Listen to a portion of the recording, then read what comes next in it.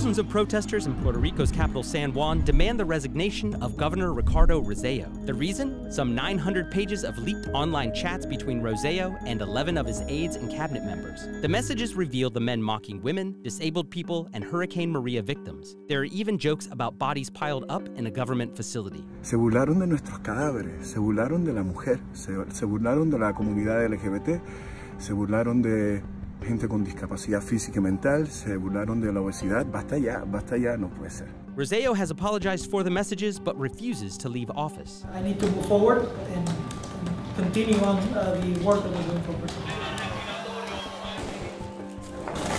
Puerto Rico has been in a crisis for a while now. Long before Hurricane Maria, the U.S. territory was in a years long economic recession and had a history of fraud and widespread corruption among top government officials. This latest crisis just may be the final straw for the current administration.